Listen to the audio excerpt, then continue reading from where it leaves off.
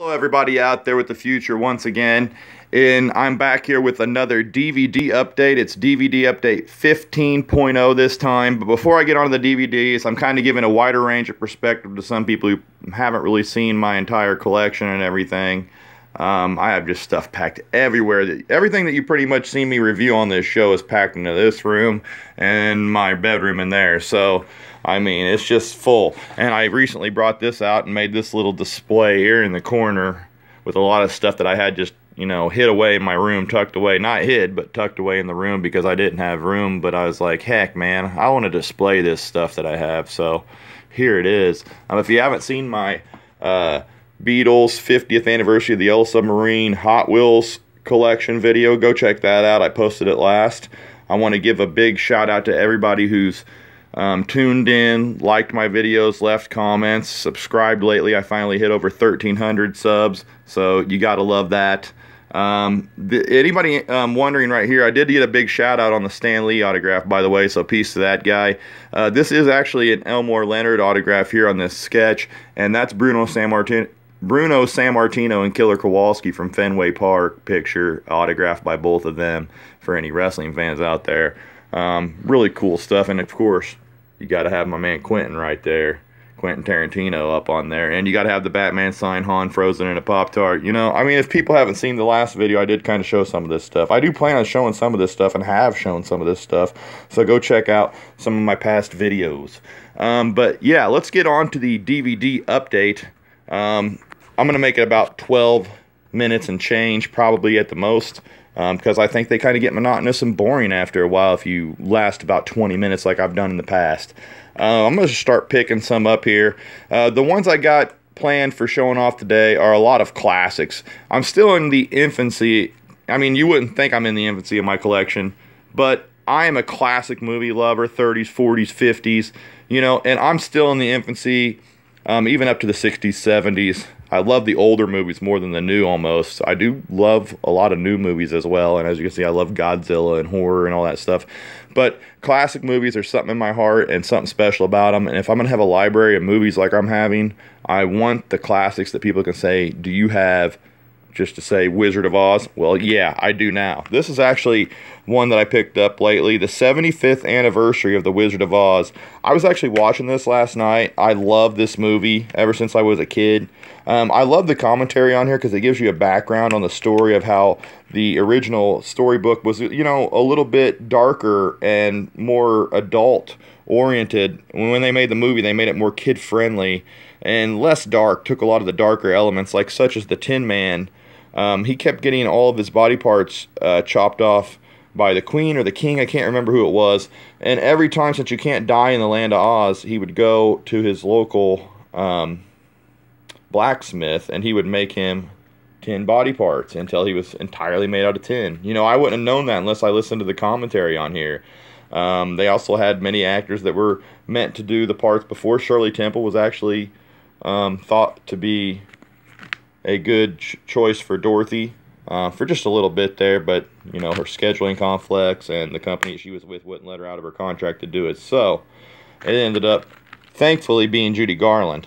Um, and also they thought about taking um, somewhere over the rainbow, completely cut that scene where she sings that iconic song out of this movie. I did not know that.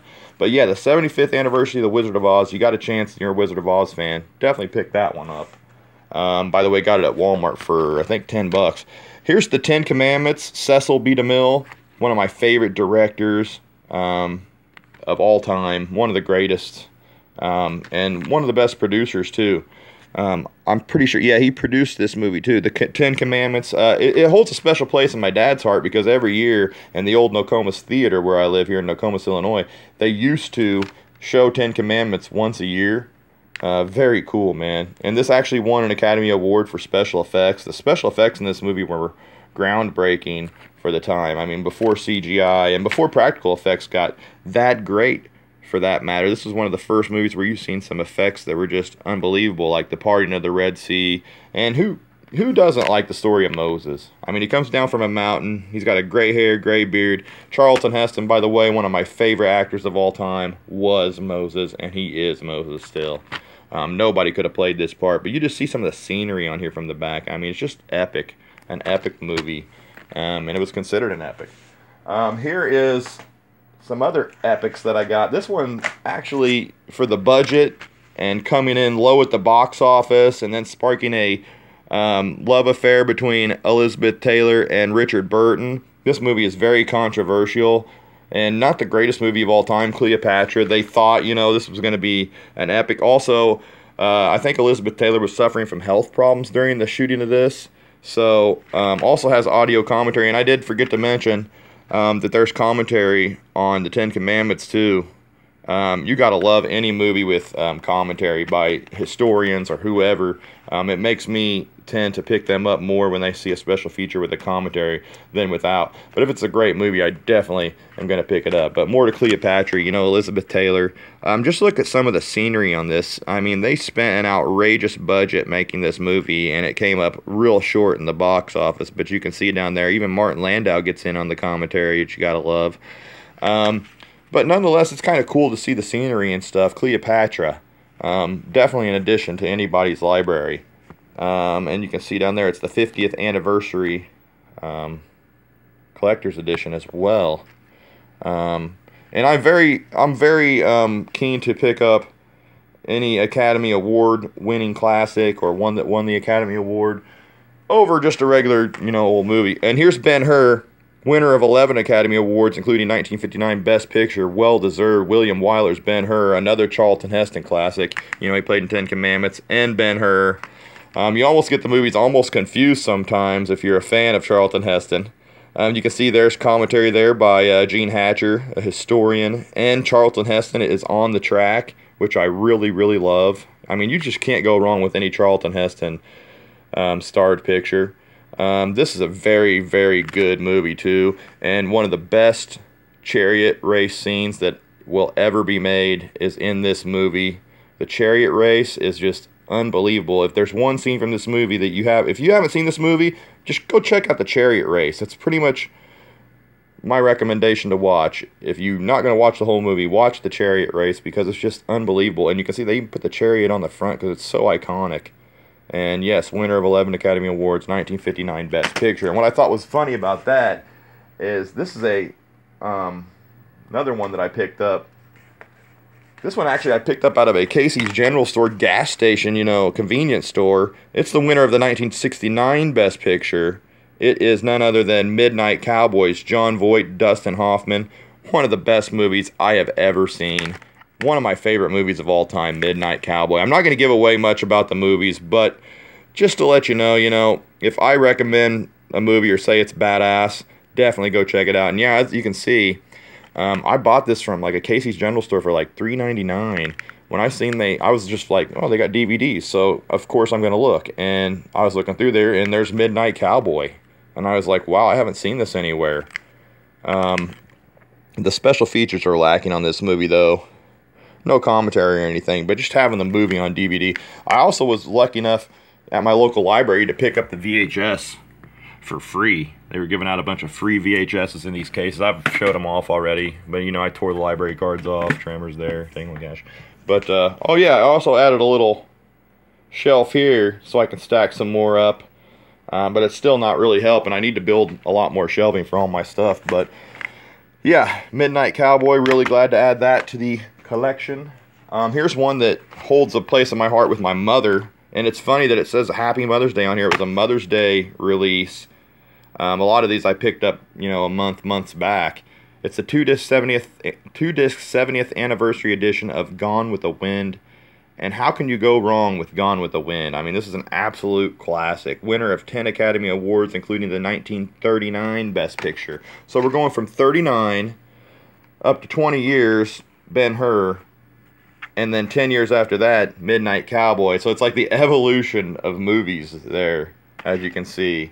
I mean, it's just unbelievable how many movies have been made over the years, and just so many classics out there that I still need to get for my collection. But I really enjoyed this commentary by historian Rudy Behlmer. I actually listened to the commentary track on this for like the first disc. Very informative, and very. It's a very good movie. I mean, if people like, ah, I'm gonna watch Gone with the Wind. Check it out because it, it's definitely a very good movie. You know, Scarlett O'Hara, Rhett Butler. Scarlett O'Hara, actually, my dad um, named, my mom actually named a dog Scarlett O'Hara that we had, and she was a lovable dog and was there for all our lives. My dad actually ended up with him and took care of her for, not him, but took care of her for um, all her life until she passed away. But Scarlett O'Hara, you know, it holds a place in my heart, the name alone and then being my mom's favorite movie of all time. What's funny about this Mother's Day edition, and I was going to show this one too, is I got this on Father's Day, and it was a Happy Father's Day edition to and from. I bought this for myself because I am a father um, to a beautiful 12 year old daughter, if anybody wondered. But a two disc special edition here, DVD, Hangover Part 3. Now I have all three of the hangovers. Um, I've seen compilation discs where they have them all in one, but I'd rather have each separate one. Um, they're all very good, but you see they're Hangover 1, 2, and 3. And just to mention, there is a lot of special features on here. Um, not a commentary track, though. I would really like to see some kind of commentary track on the Hangover movies. Um, I'm pretty sure Part 2 and 1 do not have commentary either. Let me pull out just to, just to see. But yeah, this one doesn't. Maybe the first one does. Not sure. Uh, it's been so while since I watched it, but it doesn't. So yeah, just happy though that they uh, have all three. I have all three Hangover movies now. One of the best comedy uh, trilogies that I've ever seen in my entire life. They're all great. One, two, and three. Gotta love Chow. Gotta love Alan. They're my favorites. Um, but yeah, if they make commentary tracks to that, that'd be sweet. You can see all my John Waynes. There's some wrestling. Yeah, that's some board display on my entertainment center here. The reason I still have this old ass TV too, because it fits the entertainment center. I've had people diss my TV. I'm not going to get rid of this entertainment center just because the TV's older. You know, ditch everything and get a new entertainment center because I like this entertainment center. And you can see here that I have my Xbox 360, my PS2, Here's all my games up here. Not a huge, huge collection of games, but I am a big gamer. Um, also, you can see I got the PS3 there. Uh, NBA 2K, NBA 2K16 360 version, still good. Um, now we're getting into 1223, guys. So actually, what I want to do now is wrap it up because I don't want to run out of time here. Um, I need a new SD card so I can run longer videos. But I do want to thank everybody for tuning in and watching this update. I was glad to at least get some titles named off here. But yeah, remember to subscribe, comment. Um, I always like talking about this stuff with everybody. Um, give me a thumbs up if you like what you see. And yeah, shout out to everybody out there. And as always, till update 16.0 or another video, I have a card unpacking video too that I may be getting underway with. But yeah, until then, guys, thanks for watching and peace out.